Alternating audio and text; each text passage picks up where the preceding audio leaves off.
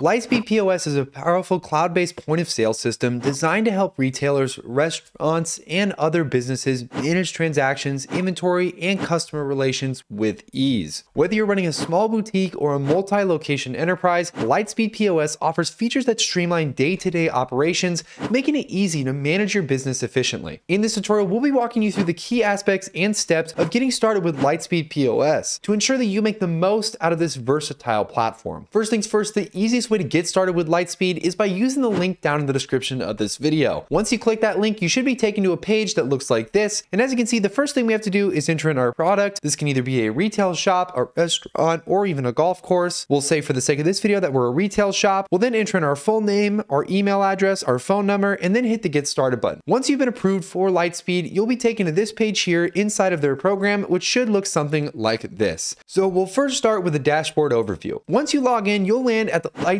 dashboard. This is a central hub for managing your storefront. The dashboard is user-friendly and it's organized into various sections, including things like the sales, inventory, customers, and reporting. Here, you can get a quick overview of sales performance, view recent transactions, and monitor inventory levels. First things first, let's talk about sales. This section allows you to process transactions, handle refunds, and manage orders. You can also see a detailed history of your sales, which is helpful for tracking performance over time. Next up is inventory. This tab is crucial for keeping track of your products. You can add, remove, or edit items, set stock levels, and categorize products for better organization. Up next is customers. Lightspeed POS also offers customer relationship management, otherwise known as CRM. You can create customer profiles, track purchase history, and manage loyalty programs directly from this dashboard. Up next is reporting. You can access detailed analytics and reports about your sales, inventory turnover, and employee performance. This helps you make more informed decisions based on your business operations. Up next, we'll be adding products to our inventory. One of the core functions of your POS system is the inventory management feature. Lightspeed POS makes it easy with their intuitive interface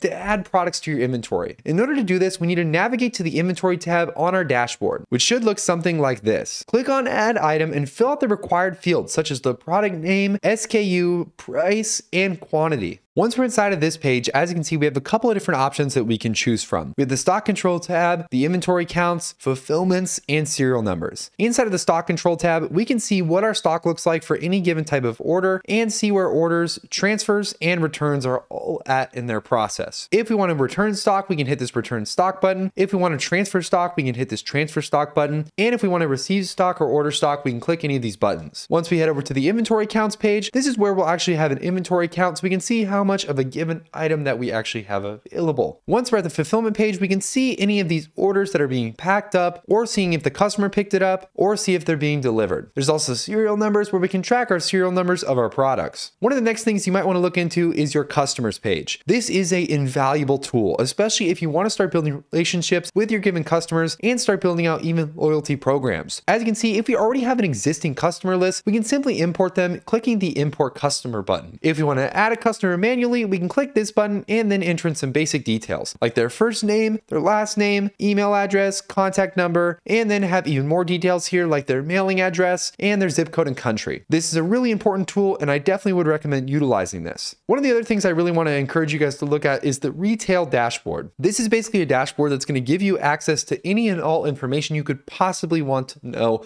about what's going on with your storefront, whether that's the amount of revenue you're making, the sales count, customer count, gross profit, discounted rate, discounted percentage, average sale value, and a host of other important metrics. As you can see here, it doesn't just stop here though. If we go to the left, we can see a couple more tabs that we can click on. We have sales reports where we can see what our sales are looking like on a summary level or on an individual performance level or even a sales by the hour of the day. There's also inventory reports where we can see which items are selling the best. They also have access to payment reports where we can see where our payments are coming from, what types of payments are coming in, the credit cards that are being used most often, and a host of other important details. There's also Lightspeed Payments, which will take us to the Finance tab where we can get set up here to have incredibly intuitive and easy access payments. This is something that you definitely shouldn't overlook if you're a brick and mortar chain. Going back to reporting though, there's also registered closures, gift card reports, store credit reports, tax reports, user reports, and shared reports. Each of these are important and give us even more insight into what's going on inside of our storefront. Now, if we go back to the home page on our dashboard here, we also have a couple of other options here. The sell option and the online option. Let's over to the sell option. And as you can see, this is basically kind of what the inside of our register looks like. Now, for the sake of this actual video, we have a apparel register, which is basically for a clothing store. Now, any of these we can start messing around with and making changes to. For instance, I can click on one of these products here, like this crinkle pleat, and select the size for it. So let's say, for instance, I want to go ahead and ring up a medium, and then we'll go ahead and go with the rose pink color and the spring summer collection for the season. As you can see here, we have four variants here that we can look at and choose from, and we even have the actual stock number and how much we have available here, which is 50 at this point. There's also the retail price and a host of other things that we can look at, like the history, basically who actually bought this kind of stuff, and the details behind it, seeing kind of some things like, oh, this is a romantic midi dress that boasts a soft silhouette with an elastic tie waist, and a host of other details that we can have about the product itself. And we even have the supplier price that we can look at here, so we can see what our margin is in real time. Once we have all this checked out though, again, this is just a nice way to look at your products and get a good idea of what you're actually selling in the first place and have a very clear view of that uh,